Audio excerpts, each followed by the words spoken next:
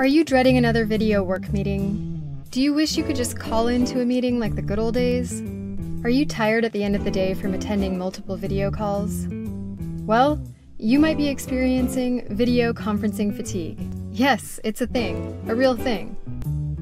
These days, we've not only been video conferencing for work, but also for maintaining connections with family and friends.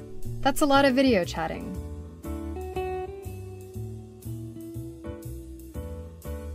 I just got off my third video meeting today. The thing that gets me about these video calls is maintaining constant eye contact, and you need to overly express yourself so the person can see your reactions.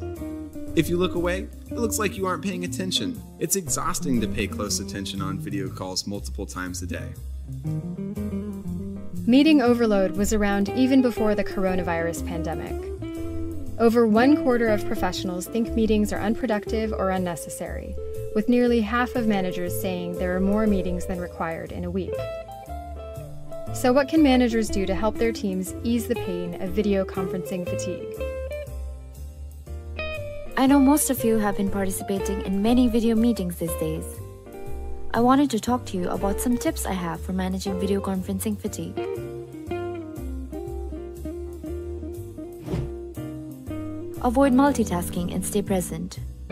It's easy to get distracted by instant messaging or emails, but staying present will limit the amount of energy used during these calls. Multitasking can cost you as much as 40% of your productive time. Take breaks. On long calls while listening, turn off your camera at times to give your eyes a break from trying to read everyone's facial expressions. Take the meeting on a walk using your phone instead. Walking meetings are known to improve creativity and eventually reduce stress.